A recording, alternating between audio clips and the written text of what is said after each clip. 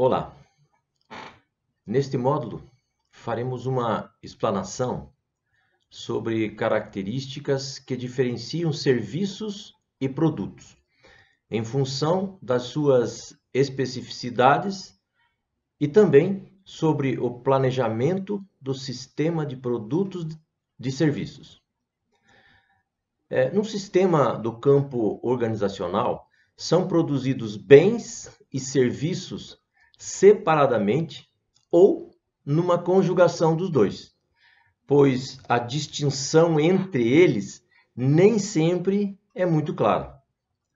É, numa explicitação clara dessa relação, nós podemos citar alguns serviços que necessitam de bens para serem prestados e bens que necessitam dos serviços para garantir a sua utilização.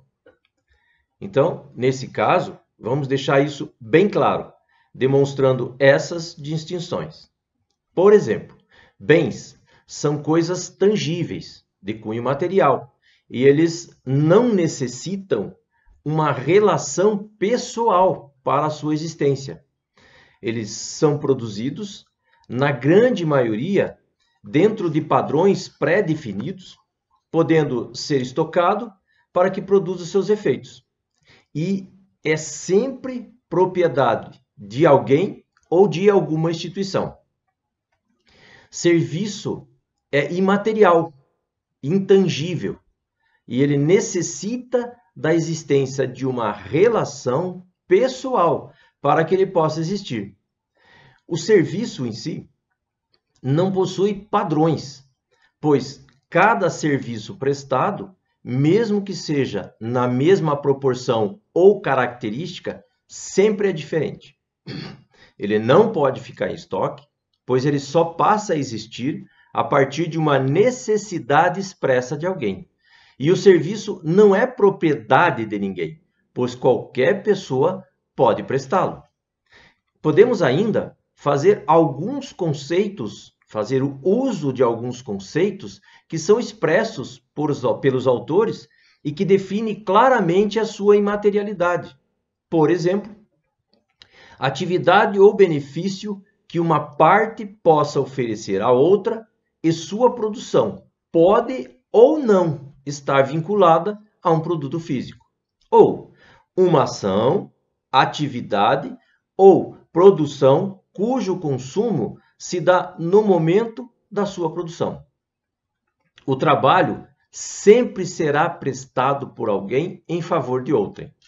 E ele sempre, o serviço possui uma interface onde o cliente e este serviço interagem.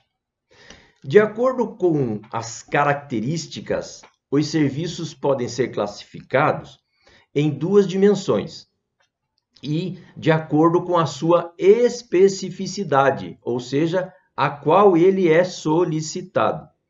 Intensidade necessária de mão de obra para sua prestação, que representa o grau de presença ou de dedicação da mão de obra exigida. E pelo grau de interação ou personalização que ele exige e que define quanto de esforço é dedicado a cada cliente. Alguns exemplos de serviços podem ser extraídos da matriz do processo de serviço, que é definida por Schminer, que são uma fábrica de serviço possui graus de interação e intensidade baixas. Uma loja de serviço possui um grau de intensidade baixo mas um grau de interação alto, demonstrando a necessidade de um relacionamento pessoal na prestação desse serviço. Serviços profissionais possuem grau de intensidade alto e grau de interação baixo. Agora, serviços de massa, mesmo que profissionais, eles possuem um grau de personalização alto e um grau de intensidade de relação também alto. Uma outra classificação parte de Fitzmans e é definida como um pacote de serviços o qual é conjugado entre serviços e bens e oferecido em determinados ambientes, sendo que nesse caso há também aspectos materiais envolvendo a prestação desse serviço. Não se pode esquecer que serviço é, antes de tudo, também um produto. Apenas que o fato é, ele é imaterial. Devemos sempre observar que ao concebermos ou oferecermos serviços, o mesmo deve possuir um perfil qualitativo adequado à necessidade ao qual o mesmo é oferecido, pois isso pode desqualificá-lo no mercado ou numa prestação como serviço público. Por isso, devemos prestar atenção a alguns aspectos como um serviço sempre possui uma interatividade entre quem o presta e quem o recebe. Alguns serviços têm apenas o foco na atividade de processar informações, tais como um serviço bancário. Quem consome o serviço muitas vezes tem uma participação mais intensa do que quem o presta. A produção e o consumo, como já dissemos anteriormente, são simultâneos. E outra, serviços possuem uma perecibilidade superior a qualquer produto físico, considerando o tempo. Para que se possa prestar um serviço, é necessário a existência de um local de encontro entre prestador e consumidor. E serviços possuem economia de escala. Eles podem ser prestados sempre num, num volume cada vez maior. A descentralização dos serviços exige um maior controle nos prestadores para que se mantenha uma uniformidade de qualidade. A força de trabalho determina a eficiência e a eficácia da organização de serviços. Serviços automatizados eliminam relações pessoais, sendo que essas relações podem fazer diferença a favor do serviço. Um serviço ele não pode ser testado em relação à sua qualidade em função de sua intangibilidade e não estocabilidade. A dificuldade de medir o nível de produção dos serviços. Nos serviços, o processo confunde-se normalmente com o produto, visto que não há uma interação entre o fornecedor e o consumidor aumentando a responsabilidade de sua formação e, por isso, implicando numa boa base educacional. E pelo fato da produção de ser pode ser de serviços ou bens, podemos afirmar que conceitos de produção de serviços estão diretamente relacionados com o de produção de bens. E serviços devem levar em conta ainda peculiaridades inerentes a eles, com o encontro entre fornecedor e consumidor, necessário caracterizar o encontro e a interação entre o cliente. O pessoal que vai fazer o contato entre o cliente e o serviço e a organização do serviço. E identificando nesse momento que permitem avaliar e obter a qualidade do serviço. A percepção do cliente a respeito do serviço é formada em cada um dos momentos de verdade e a cada momento pode influenciar na qualidade do serviço.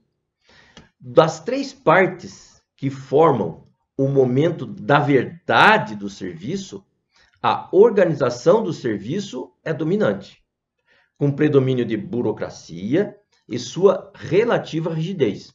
E comumente resulta na falta de autonomia e de sua criatividade. O domínio do, pode ser desse momento verdade, pode ser do pessoal de contato e a sua autonomia na prestação desse serviço requer competência, maturalidade e responsabilidade. E o exercício do serviço proporciona a criatividade e, consequentemente, pode incrementar bastante o nível da qualidade. O, o encontro, ele normalmente dominado pelo cliente, é verificado em situações extremas, apesar de que o cliente, por ser um participante do processo, ele quer ser ouvido e expressar as suas necessidades. Porque se elas não atendidas, elas devem ser explicadas por quem presta o serviço. Essa composição de forças é naturalmente influenciada pelo tipo de negócio, que, entre outras coisas, define a capacidade do pessoal, a maturidade e o grau de informação da clientela sobre o nível de, for de serviço fornecido e a participação dela no processo e flexibilidade requerida para a obtenção do resultado. E nós não podemos relevar que tudo que passa pelo filtro da cultura, pois isso implica na maneira das pessoas que recebem o serviço ver e pensar sobre as coisas. As pessoas que representam os clientes numa prestação de serviço e aqueles que representam os fornecedores estabelecem contatos em meio a um contexto cultural que determina a forma que o relacionamento entre ambos se estabelece ao determinar o valor do serviço recebido. Mas nem tudo, prestem muita atenção, é simples quando se analisa a relação entre cliente e o pessoal de contato. Pois, segundo o FITSMO, o grande problema na prestação do serviço, e isso algo em torno de 75%, são falhas de comunicação ou burla nas regras estabelecidas para a prestação de serviço, em função de questões culturais. E existem vários exemplos que podem demonstrar esse tipo de atitude. E duas condições permitem posicionar um serviço no mercado e em relação aos concorrentes: complexidade e a divergência. E no quesito complexidade, que é o que determina os passos necessários para o processo, e ele pode ser mais ou menos complexo. Já em relação à divergência, diz respeito à variação na elaboração conforme o tipo de cliente que você quer atingir com o serviço que você vai prestar. Para o um melhor entendimento dessas condições, é necessário explicitarmos o que é o processo de um serviço, ou seja, a maneira como o mesmo é prestado, e quando há concorrência, o serviço precisa ser criativo, possuir diferenciais em relação aos outros, porém, quando ela inexiste, a busca pela perfeição se justifica em função da racionalização dos custos, esforços e riscos. E é salutar lembrarmos que o serviço só se justifica quando é útil a alguém, porque, caso contrário, o sistema de serviço não se sustenta. Normalmente, a prestação de um serviço é estabelecido a partir de um rol de especificações que leva em consideração seguintes, os seguintes aspectos dentro de um fluxograma de processos. Primeiro, as etapas de processamento de informações. O segundo item, pontos de interação com os clientes. Terceiro item, pontos de decisão entre quem presta o serviço e quem recebe o, serviço. O quarto item, uma sugestão de oportunidade de melhorias. Quinto item, identificação de potenciais pontos de falha na prestação do serviço. O projeto, que como sexto item, é o projeto de pontos à prova de erros. Um sétimo item, tempos determinados para a sua execução. E o outro, identificação dos pontos de espera dos clientes. Para que um serviço possa ser executado de forma adequada, necessário se faz que sejam estabelecidos padrões e controles, sem os quais não se consegue manter um atendimento eficaz, visto que os padrões é que permitem que você avalie e, portanto, proceda uma contínua melhoria e também aumente a qualidade do serviço prestado. Não se pode esquecer que alguns serviços, pela sua diversidade e personalização, muitas vezes não podem ser padronizados. E quando se padronizam, deve-se tomar o cuidado para que esses padrões sejam claros, objetivos, para que se possa estabelecer os controles sobre a sua prestação.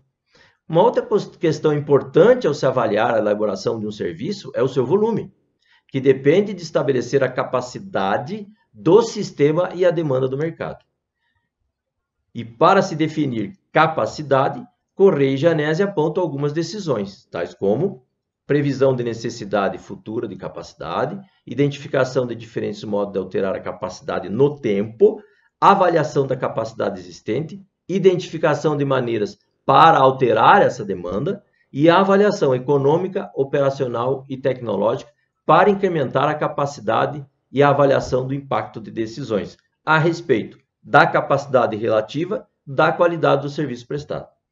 E a capacidade envolve recursos físicos e tecnológicos, as pessoas que prestam e as pessoas que recebem o serviço. Portanto, para que um serviço seja prestado de forma adequada e eficiente, todas essas medidas devem ser estabelecidas na sua proposição. Obrigado, até a próxima aula.